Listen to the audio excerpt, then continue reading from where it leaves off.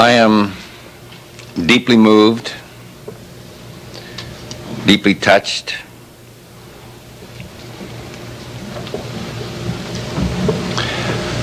At a loss for words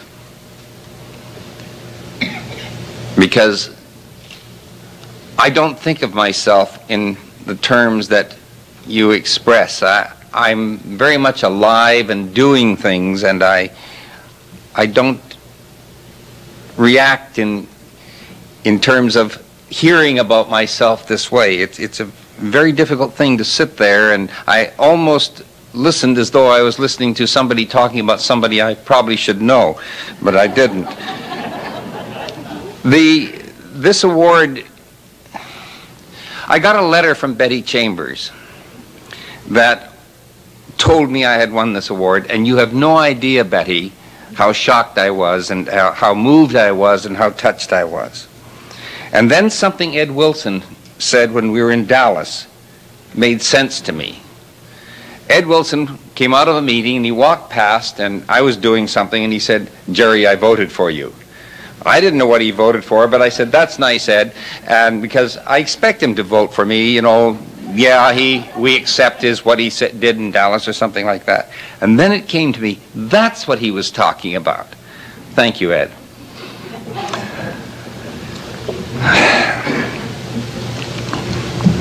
The dedication of the book on positive humanism to Gina Allen, to Maxine Negri, and to Lee Roberts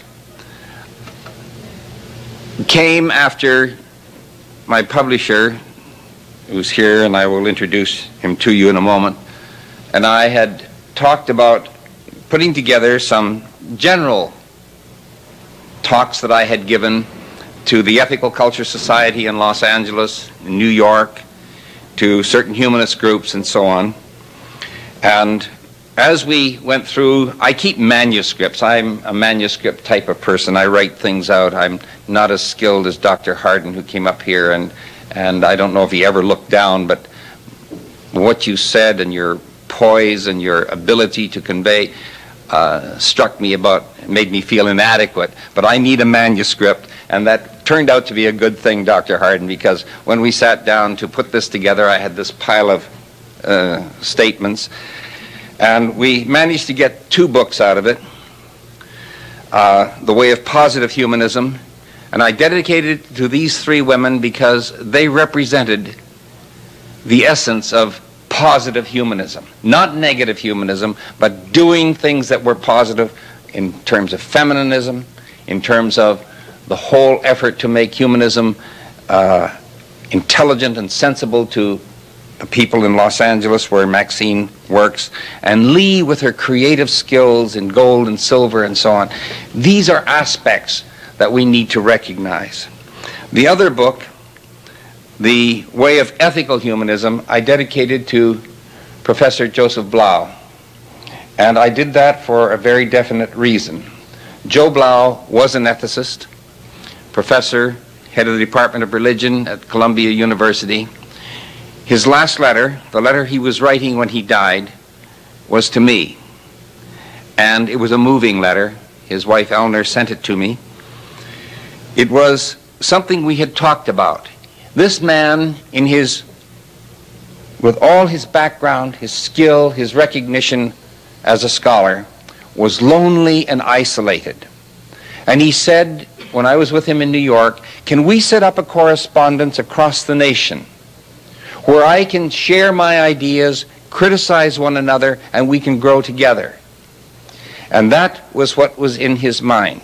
Now, my ethical understanding and growth and scholarship was not up to his. But what I have done here in this little book is recognize him for who he is and what he is. I will tell you, Betty and the board of the Humanist movement here that uh, this honor has created a great deal of excitement in my life. Um, I was shocked by the letter. Then I got another letter telling me I was going to be a life member of the AHA uh, which was another honor. These things start piling in. But then it spilled over into the university. I have a group of students who are pretty terrific people. I've got ex students who wrote to me. One, a professor back in the Middle West, a professor of English, who will be, I think, producing some material that will be useful to humanists in the near future. One, a student who's now taking her doctorate in New Testament at the University of Chicago. She is a humanist. She's won one of our awards uh, with that Lloyd Morain has set up for the humanist essay. She wrote under a pseudonym uh, to protect her father, who was a clergyman, but she is a humanist scholar, and she will be following in the footsteps of some of us who think that the humanist approach to New Testament might have something to say to our public. That's Lena Kasarjian. I have young students at the News Bureau who are my right arm. When anything comes in that they think would be interesting in the news, they come over to me and talk to me. And those of you who saw this thing out of the um, USA Today, uh, this was due to these two young students who phoned up and said, uh, "What about these killings down in Lubbock or down in uh, uh Texas and uh, uh, Mexico?" What do you know about the Santerias? So we got into a conversation, and I end up in USA Today. These people have, after I left, have put things in the news. I don't know what's happened. I know my classes know I'm getting this award. One of my students came in and saw again the Humanist magazine in the ma- in the library and announced to the class that this was going on. So I'll take the plaque to school. This is spread there. Then it hit the family. I have I didn't tell this line of people in here that uh, my sister, Audrey, in Canada, who writes letters at 4 o'clock in the morning when she's in pain and can't sleep, and her husband, Bob, and their family has sent greetings. Uh, my one sister, who is in Hawaii right now before she has a cancer operation with her husband, uh, sent greetings from there. Their son, who's a professor at the University of Saskatchewan, was going to come down here and surprise me, but got caught up in university business and couldn't do it with his tribe. And my son Jerry, uh, who was a uh, assistant principal of a high school, was unable to come because he got caught in. Uh, my brother Paul was supposed to be here, but he isn't well. It's lousy things that happen to our family. But he did send my sister-in-law Eileen, and this is special for me because I married them many years ago up in Canada. Their beautiful daughter, Rhonda, my niece, their handsome son, Randy, my nephew, and his lovely wife, Val. Uh, these are very special people who have come here and are part of this uh, uh, evening. And then all the way from Puerto Rico, can you imagine this? All the way from Puerto Rico, my son David, who is a professor of geology and who is getting ready to drill a hole down in the middle of the earth and take a core a mile deep, David, uh, if you can get past all the red tape. And uh, his very special um, friend, Leslie, are also here. She's from San Francisco, so you didn't have as far to come. So this is a very special evening for me in more ways than one. I have also an extended family here.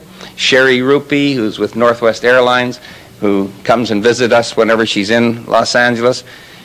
Ken Shea, whose book you'll see out there, proving that lay people can get involved in biblical study and come up with interesting solutions to ancient problems, is here. Um, we have, uh, let's see, who else? Oh, yes, we have the Farbmans from uh, Ethical Culture. Paul Farbman is the president of Ethical Culture and his wife Carrie is here, and that little baby you see wandering around is Steve.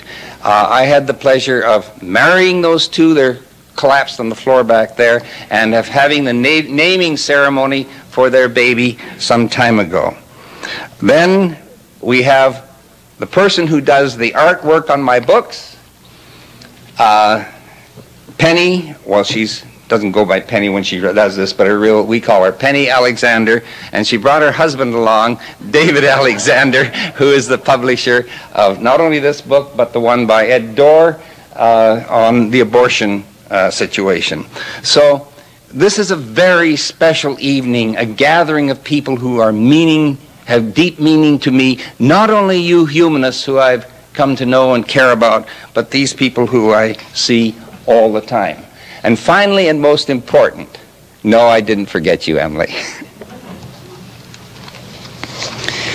My wife, who uh, just received the uh, wonderful plaque and uh, who looks after me and has given me more happiness than I can tell you. I want to thank you for being here, all of you. My subject tonight is titled Geroethics a humanist issue. Geroethics is a word I've coined. I think gerontological ethics is a little awkward.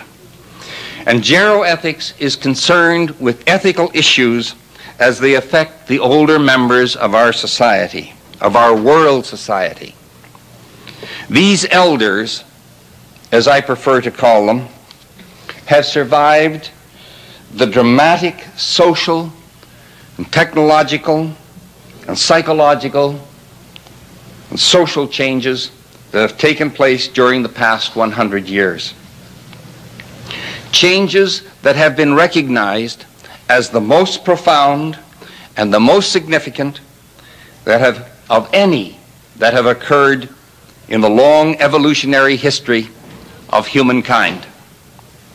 These elders were born during the first 25 years or so of this century and they're now 65 years of age or older. Now, my, my ethical emphasis will not focus on geriatric or medical ethics. That's something I am I'm avoiding tonight. But on that which contributes to individual dignity, to feelings of self worth, to the sense of control over one's life, to the recognition of personhood, and so forth. And ultimately, what I'm saying tonight will be expanded into a book uh, that I hope to get done by the end of the year. Ethics are to be distinguished from morals.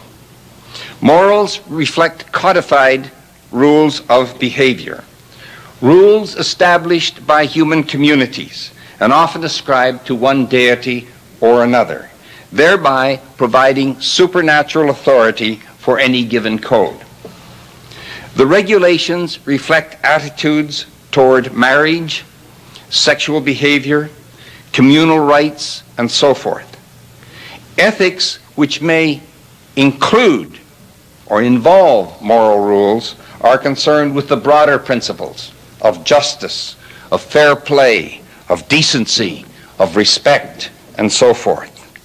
Ethics reflect values, and they testify to what the individual or the group or the society values most. Present gerontological research tends to emphasize political, scientific, technological, and medical issues, all of which are important. And I'm associated with one of the great gerontological research centers of the world, the Andrus Center. Humanistic dimensions, however, become secondary, and ethical concerns are moved toward the fringe. The focus is on the classification of ailments, the standing of elders as a group or category in our society, on demography, on statistics, on what the elders cost our society. When personhood is considered, the discussion is generally related to terminal illness. Individual worth thereby is minimized, and consequently, elders as persons are devalued. There are well known ethical codes. Perhaps the most familiar in our society is the Decalogue. The commandments are presented in what is called apodictic form. That is, they state what must be done or what must not be done in absolute terms. Thou shalt honor thy father and thy mother. There's no room for challenge to this formula. There is no provision for debate. One cannot say, but wait a minute. What about this particular instance where the parents have brutalized the children? Must one still honor such parents? Later, another generation, a New Testament generation, may add to this Fathers, do not provoke your children. But no guidance is given for situations where moral rules are disobeyed or ignored. The rules are set. They present what the humanist ethicist Joseph Fletcher has identified as rule book ethics. They provide hard and fast legalistic prescriptions for determining what is right and proper in all situations. Fletcher's situation ethics provide flexible alternatives. They acknowledge circumstances involved in particular instances. Situation ethics weigh the varying aspects of a given situation, a given setting, and seek to arrive at a just conclusion. Such ethics tend to be less harsh, less dogmatic, more flexible, more humane. Perhaps one should honor their parents, but as we all know, some elders make it very difficult to honor them. They're hard to live with, they're hard to love, they may be impossible to like.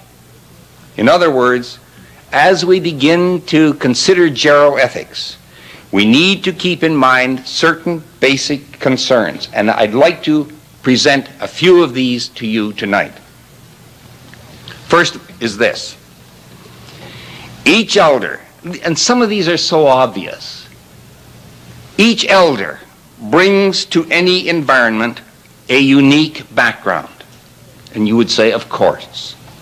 Each carries with him or her what was experienced, how the experience was experienced, what the experience did to them or for them, how the experience helped them or hurt them.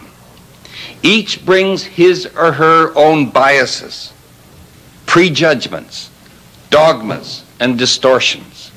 Each brings unique qualities of spirit and of coping and of temperament. For better or for worse, each elder affects the total environment. Some are easy to be with. They fit nicely and easily into almost any situation. Others are just the opposite. They bring toxic influence into almost any setting.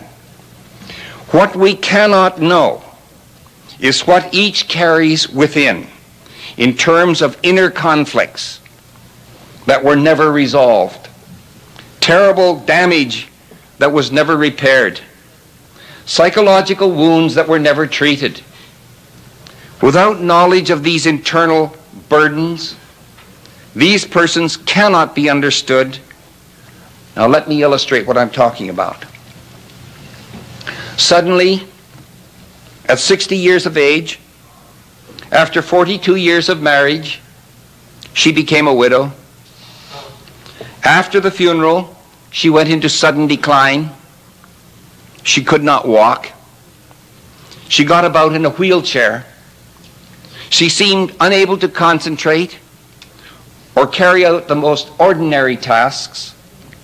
She became a helpless burden to everyone. Medical examination found absolutely nothing physically wrong with her. And then a social worker asked the right question. This woman, who had moved so graciously, so confidently in social circles, had never been allowed to mature or take care of herself. She had never learned to drive a car. Her husband had taken her everywhere or because he could afford it, arranged for her transportation. She had never learned anything about family finances. Indeed, she didn't even know how to write a check or balance a checkbook. She had always had charge accounts or credit cards. Her husband had looked after such details. Suddenly she was alone and helpless. And since the time when she was 18 years of age, she had been, in his words, taken care of and never allowed to grow up. So the social worker took her in hand. Today she drives her own car, she handles family finances, and is more poised and at ease socially than she ever was during her 42 years of marriage. This helpless, wheelchair bound woman has emerged as a person. No one knew the insecurity, the feelings of inadequacy she carried within. And therefore, no one could understand her demanding childlike dependency and her sudden helplessness. She began to sculpt. Her work was outstanding, and her instructors said we must have a showing of this work. She quit sculpting. She became a museum docent. She was so inspiring, so knowledgeable, that they invited her to become a teacher of docents. She left the museum. She wrote a magnificent article and was persuaded to, to submit it for publication. She sent it to a prestigious, learned journal. The editor was impressed, but it did not fit in with their interests. He sent it back and suggested two other publications that he felt would be pleased to have it. She never tried again. She attempted suicide. Why? What no one knew was that as a child, she had been sexually molested by her brother.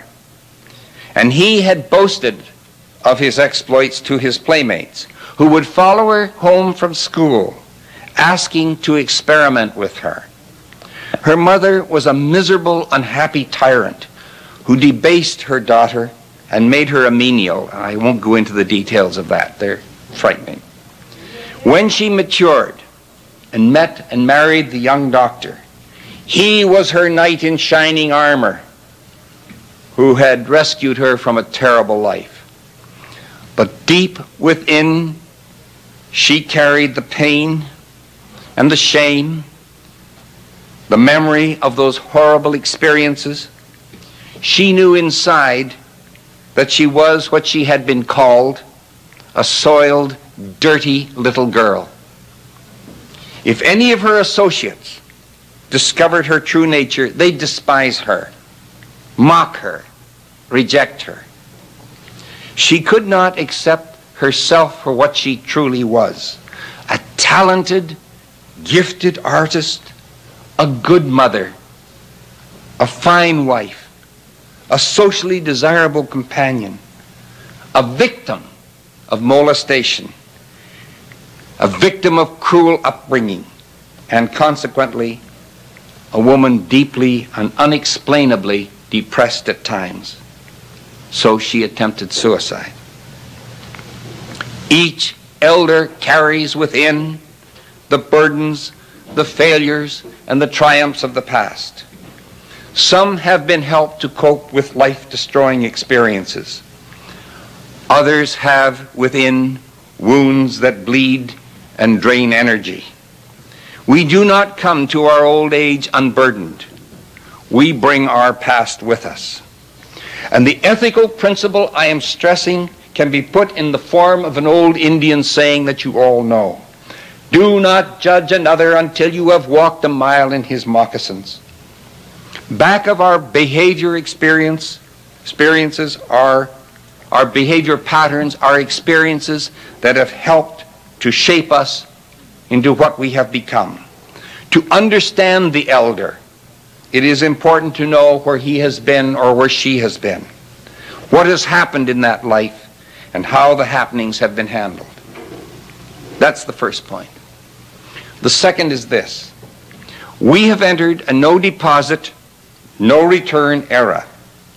Whatever may be classified as used or worn out or non-functional or viewed as useless can be and should be replaced or cast into the discard. There are those who would place the feeble elderly in such a category. Among the voices the general voices heard reflecting this sort of an attitude is that of Governor Lamm, ex-Governor Lamm of Colorado. He is said to have suggested that the elderly need to get out of the way and make room for upcoming youth. His comments could be interpreted as heraldic, giving warning of the shape of things to come. Indeed, the problem may be already upon us, since many of our elders have become numbered among the untouchables. There are elders who, for one reason or another, have fallen between the cracks in our social service and mental health programs. They may be alone. They may be without living family or without, at least without anyone who cares about them in particular. Their need for care and for caretakers is desperate. They may be frail and chronically ill, or disturbed, or abusive, or given to over consumption of alcohol or drugs. They may hallucinate, or they may not be sure where they are in time and space. They may be difficult, cantankerous, but they need help. What can be done with them? How can they be cared for? It is common knowledge that our welfare programs are underfunded. Some elder care homes willing to accept these social misfits are understaffed, unsanitary, and simply disgusting.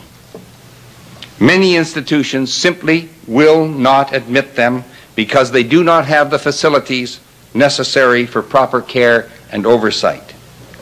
Nor can the supervisory responsibilities of the various cities and counties and states provide proper and regular inspection of centers. As a consequence, there are elders who have been placed in board and care facilities and left to the mercies of the operators. The case reported in Sacramento in November 1988, where seven elderly people were murdered for their Social Security checks by the operator of an elder care center, reflects several dimensions of our time and our era.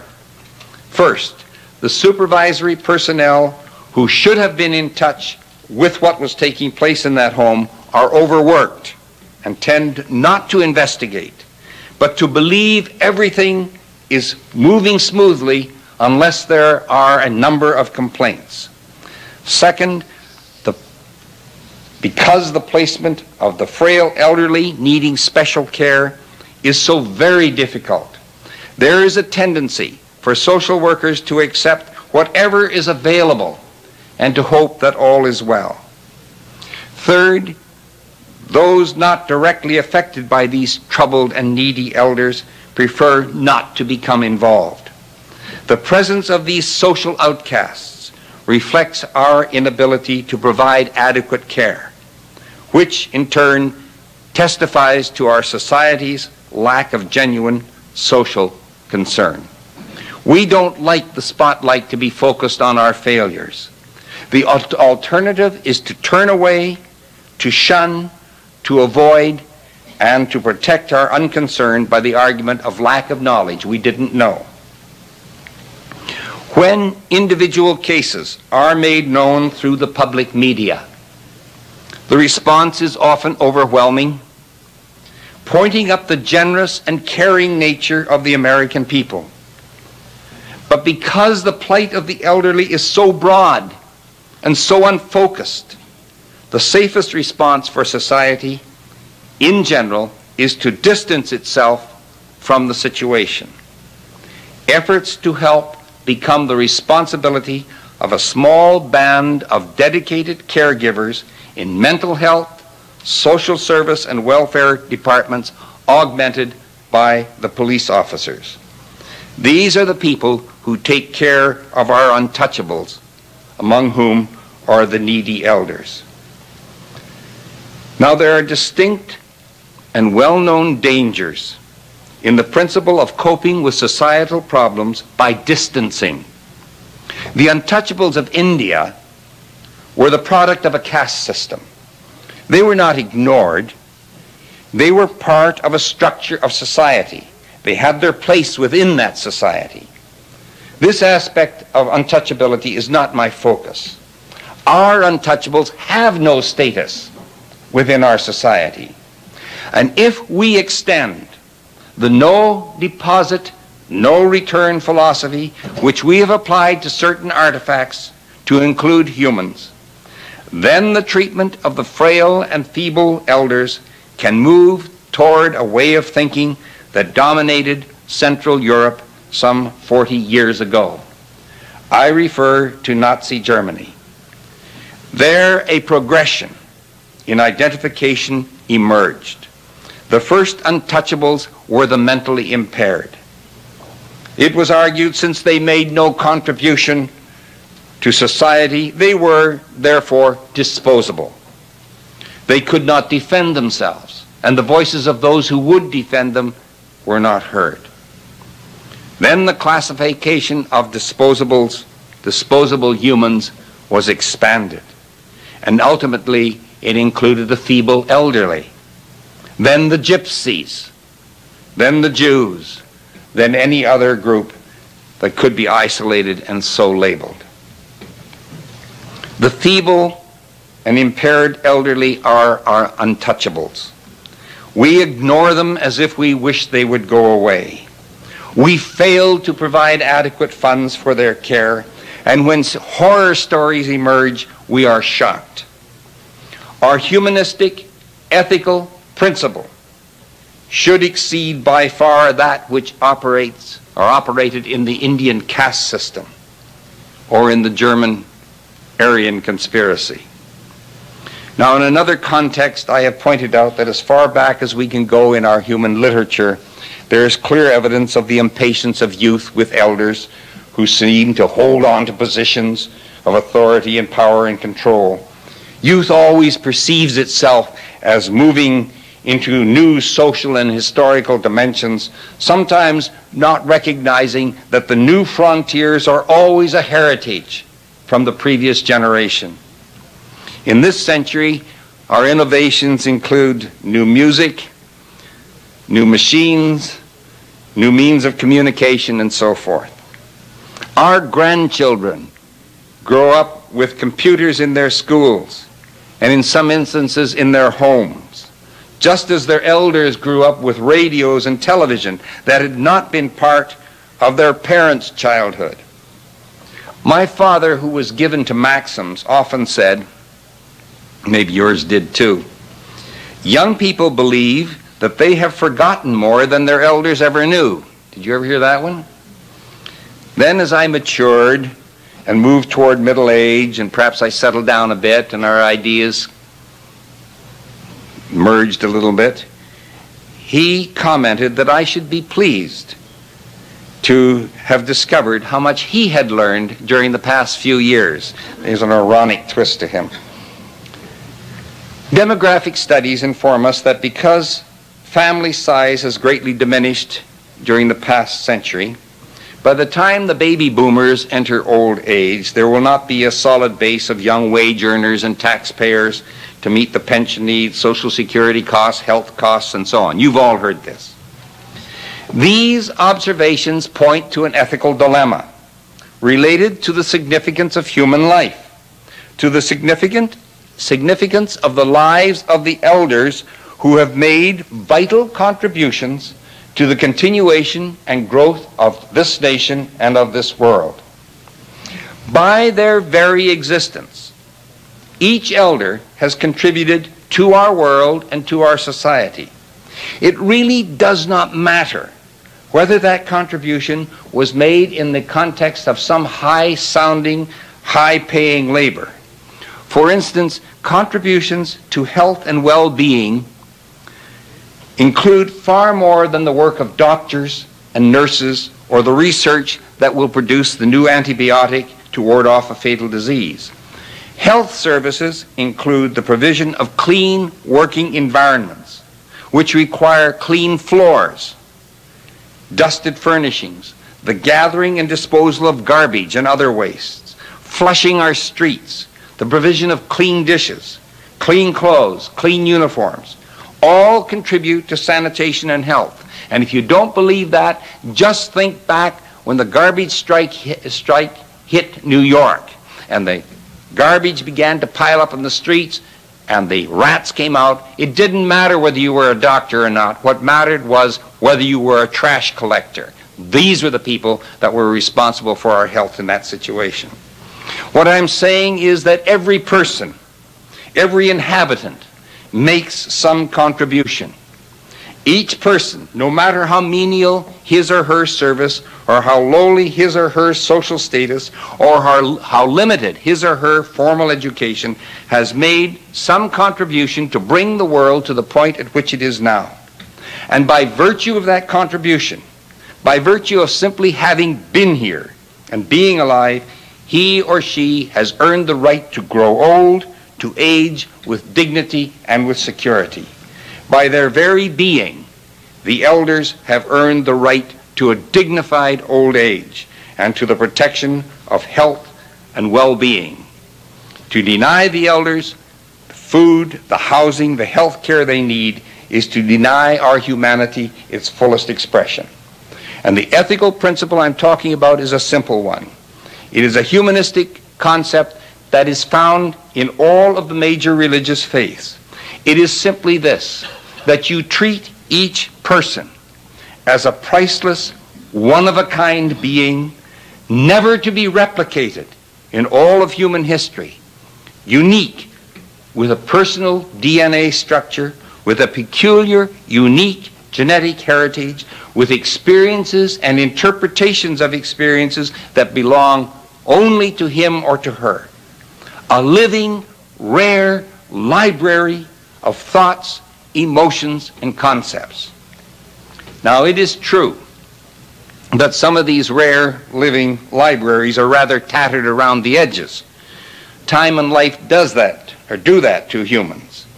And that some hold some very ugly and disheartening records of human behavior and attitudes.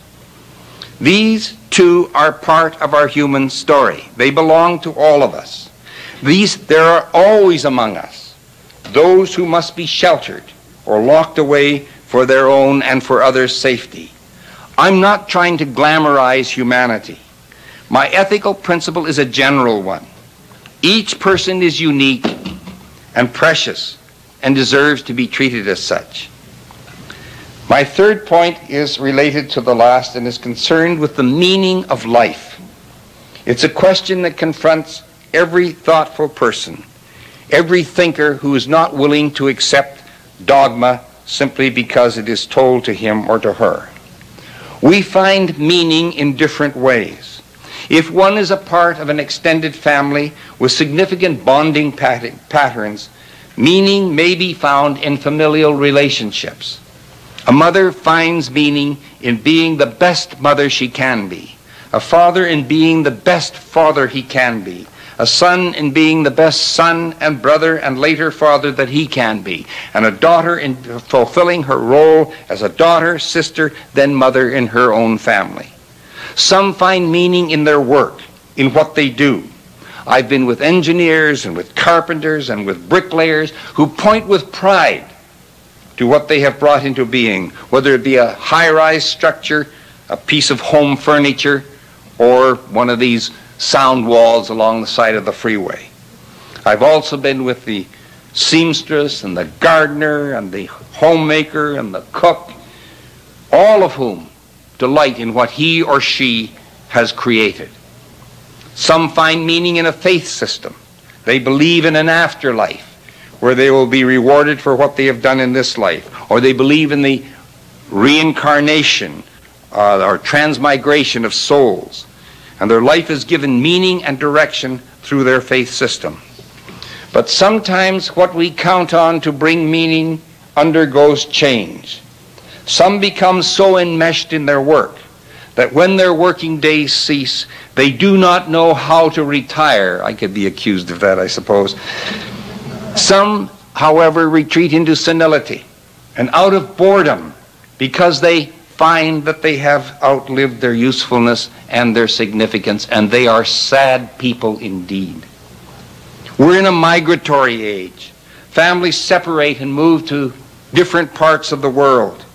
They return to the, the central nest only on festival occasions, or they come from Puerto Rico when their father gets a humanist award. Sometimes when they return, the old intimacy is gone. Not with us, of course, but. And those who thought of growing old with their families around them can feel abandoned. And should the spouse die, the remaining individual may be suddenly and completely alone. And this is another study that is worth looking into. Isolation induces feelings of estrangement. Estrangement means distancing from others, a withdrawal into the self. Withdrawal into the self places one among the untouchables, the unlovables, the discards that have no meaning or life, for life or in life. The feeling response is helplessness and uselessness, and the results are the withdrawal from life toward death, as Seligman has indicated in his wonderful study on helplessness. The ethical principle here is not too different from that in my first point. We all need to belong, to feel important, to know that we are significant, that we matter in the human family. And because so many are so hungry for recognition as human beings, it takes so very little effort for any one of us, any one of us humanists, to speak a word of greeting, to tell someone that they look nice when they do, of course, to comp- compliment someone for an effort made. I'm not suggesting a Pollyanna little glad girl role. I don't know if you remember Pollyanna was the little girl who went around trying to make everyone glad. If someone had water on the knee, she told them to be glad that it wasn't water on the brain, and so on. The ethical principle I'm wrestling with here calls for the recognition of another's personhood. Or, in the words of the telephone company, reach out and touch someone. My fourth point is this aging is often accompanied by feelings of helplessness, as I said, and also vulnerability. The body has lost some of its vigor. One tires more easily. The requirements of doing business in the modern world seem to have become more complex and more confusing. Sometimes a bill is overlooked and the utility company threatens to terminate service. The bank statement is late, and this is a disquieting factor. There's a pipe leak, and although this is something that the man would have fixed very easily in the past, he's now called upon to ask for the help of a plumber. And the plumber's charges are not what they were 25 years ago. And sometimes the elder believes he or she is being overcharged, and of course, sometimes the elder is overcharged. A recent expose of a Southern California religious leaders taking advantage of the elderly members of his parish prompted this statement from one of the investigators. There are two vulnerable groups little children and the elderly. Little children have no money, so this man went after the elderly.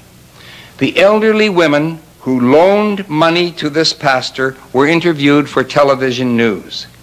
They looked and they acted vulnerable. They had a need to trust someone. They trusted the wrong person, and their small savings accounts are forever gone. Some elders have falls or tumbles. They become unsure of their ability to maneuver and, they, and get around. They begin to limit their activities. The world shrinks, and confinement and lack of motion has the effect of freezing the limbs and immobilizing the muscles. They become more helpless. Within a nursing home, an adequately equipped nursing home or retirement center, such problems may be minimized. Security is provided and there are opportunities to remain mobile. What there may not be until legislation is passed is the kind of security that will prevent greedy relatives or others from taking financial advantage of the elderly person's need for friendship and the elderly person's feelings of helplessness. And the ethical principle again is this elders have earned the right to security by being here and by doing what they have done. They deserve and they need protection from these vulturous predators who are always ready to take advantage of them. And when their world begins to crumble, they need to be assured that the crumbling is at the edges and that the center remains firm, who they are and what they are. And that with carrying people to help, they can come through on their own just as they have always done. Most elderly people need to be reminded that they are survivors, and as survivors, they have a right to security. This is my fifth point, and perhaps it overlaps again with what I've said before. And it deals with prejudice against the elderly. Like all prejudices, the prejudgments are irrational. They deal with stereotypes, with mental images of elders that are automatically read into the character of or life of older people. Such prejudices are reflected in some, but fortunately not all, of our sitcoms and movies. You know, the elderly need to be shouted at. They hobble around. They're funny, odd people. If they are older men of substance, they make bad marriages with greedy younger women. And if they are older women of substance, they're made fools of by some gigolo aboard a cruise ship. And if they're employed to advertise a product, the elder is made to represent some silly old woman who tells us mother knows best. It's terrible, the image that is projected. How many of you saw the wonderful movie Harold and Maude? Everybody should see that. There we had reflected the problem of image. Here's the story. Maude, an 80-year-old elder, was in spirit and in outlook much younger and far more alive than the teenaged Harold. And Harold fell in love with this wonderful, zany old lady, and he wanted to marry her. His concerned mother subjected him to a series of advisers. One of these counselors was the priest, and this man, with his face twisted with disgust, described Maude as a woman possessing a wrinkled body with withered dugs. In this man's eyes, she was ugly because she was old. His description reflected the attitude of many. What he ignored was the beauty of Maude's personality, which young Harold recognized and loved. In addition, it might be observed that this priest was inadequately educated about the anatomy of aging. A wrinkled countenance does not signify withered breasts. Uh, I'm not going to say I speak as an expert. Well, I, we need public recognition of the beauty of old age. It is not the self, the soft fresh beauty of this baby back here, this infant. It is not the beauty of the teenager or the 20 year old or the 30 year old or the 40 year old. Each age has its own beauty, and the beauty of the older person deserves recognition for what it is. It calls for awareness of both inner and outer beauty and of appreciation of the total, not just the physical person. The ethical principle, again, requires cognizance and sensitivity to the totality of the individual so that we do not judge merely on the basis of age. The sixth point, then there's one more. During the second part of this century, there has been a growing apprehension, a growing awareness of the fact that many of us are violent people. Whether this violence can be traced to nature or to nurture or a combination of both can be debated. During the 1960s, our consciousness was raised concerning spouse abuse. Protective laws were passed, and places of refuge were established to protect abused women and their children. During the 1970s, the depth and scope of child abuse surfaced, and the horror stories that came to light resulted in laws and agencies to protect children. The 1980s turned the social spotlight on elder abuse. Much of the attention focused on what happened in some poorly managed nursing home where helpless victims were severely abused. Less emphasis was placed on familial abuse, where children and relatives have chained, beaten, starved, raped, and a variety in a variety of ways physically mal- maltreated elders. In addition, there has been financial abuse and psychological abuse. Recently, I conducted a course on the recognition of, uh, of and reporting of and treatment of elder abuse for the Los Angeles County Department of Adult Services. Every person who works with older people should be aware of what the abuse entails, how it affects the psyche of the elderly person, and what can be done to help both the abuser and the abused.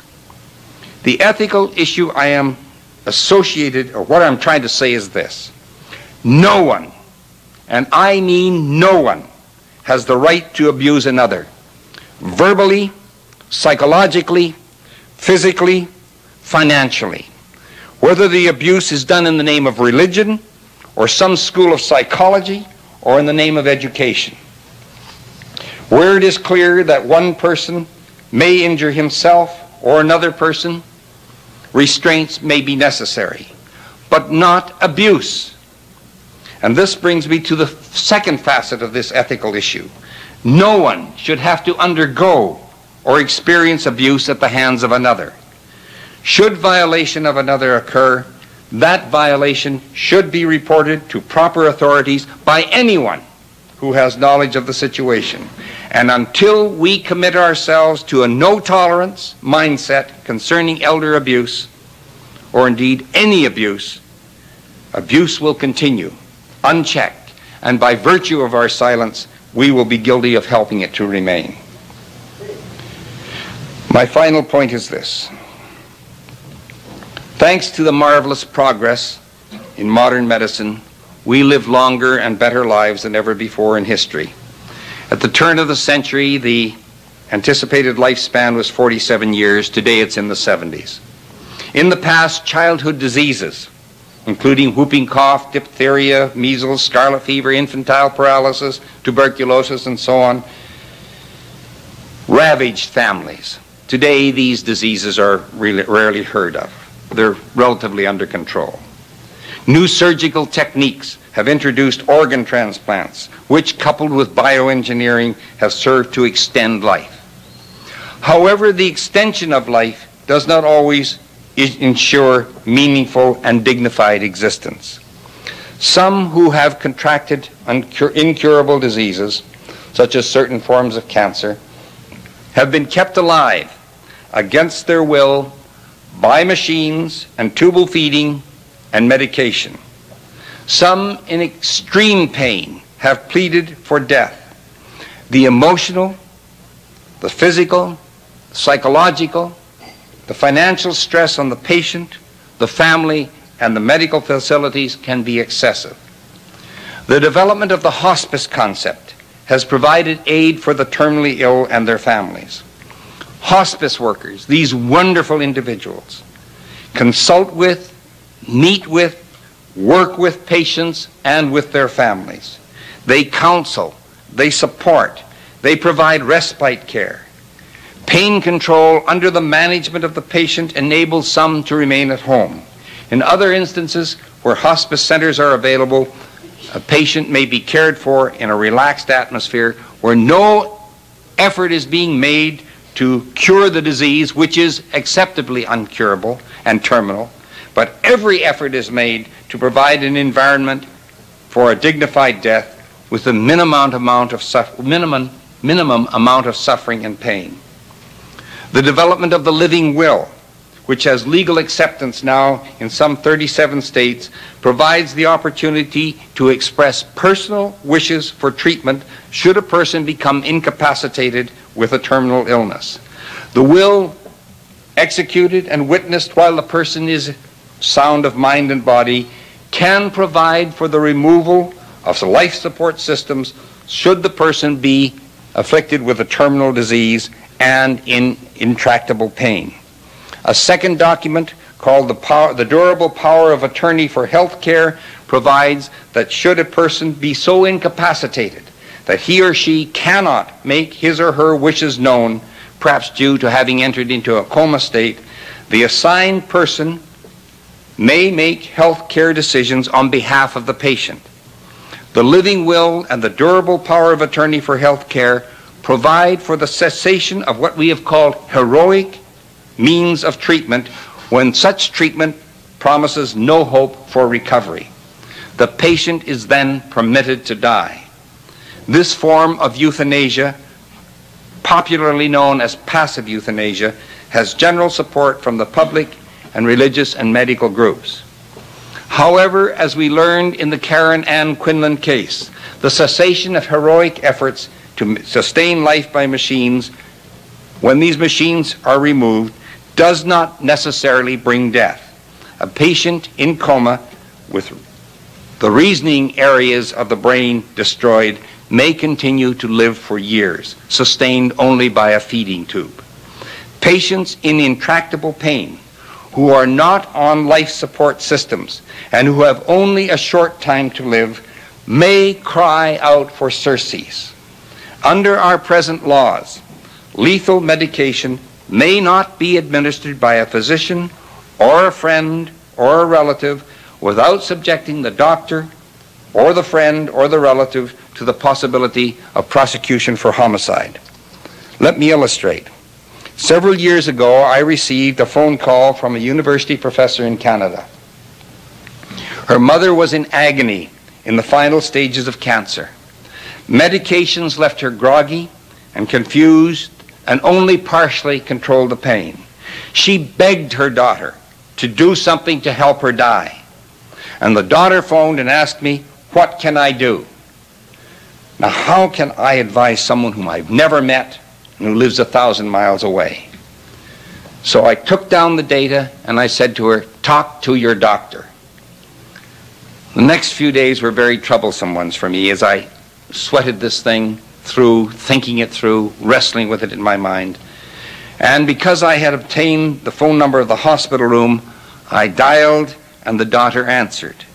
And she said, Oh, Dr. Larue, I'm so glad you phoned. I have just given my mother the lethal injection. And I went like this.